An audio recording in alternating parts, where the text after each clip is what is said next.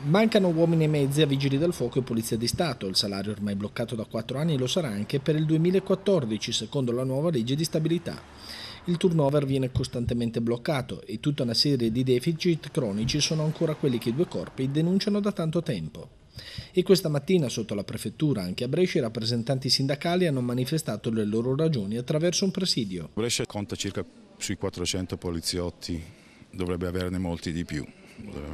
Essendo anche una provincia metropolitana. Diciamo. Esattamente, provincia come ben sapete è molto vasta e, e quindi scarseggiamo di uomini. Anche i mezzi in dotazione scarseggiano, come ad esempio le pattuglie delle volanti. Circa 21 autovetture, se comprendiamo anche i commissariati, ma che sono su strada effettivamente sono circa il 50%. Non ci sono i fondi per poter riparare anche le piccole riparazioni giornaliere insomma. Tutti elementi che comportano una minor sicurezza sul territorio. Vi sono dei reati in aumento in questo periodo che vi preoccupano maggiormente e ai quali non riuscite a far fronte? Beh, lo vediamo tutti i giorni, la microcriminalità è sempre in aumento. Appunto dicevo per stamattina l'ultima notizia della donna aggredita, rapinata e violentata nella, nella provincia di Brescia ultima notizia di stamattina.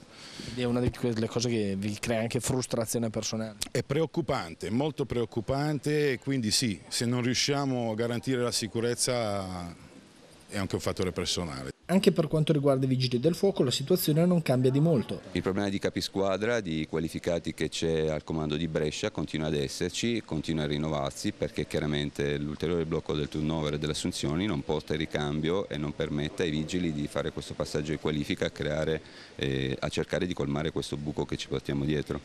Quanti ne mancano qua a Brescia?